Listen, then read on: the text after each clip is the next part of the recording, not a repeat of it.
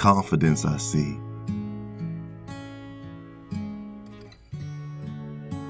The rightful stature of a young king.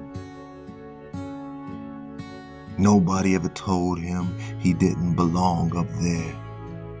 His rightful place, where his wishes dwell, where his dreams sleep.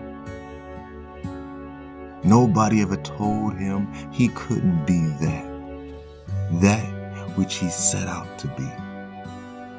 His glass already full enough, born pure without all the tainted stuff,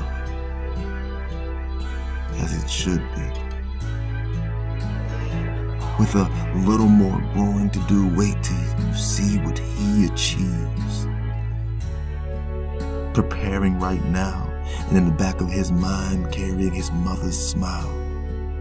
The sun must be his seamstress. Look at his garments, chin tilted, back straight. So get his measurements proper. Being everything good from everyone before who made him a possibility.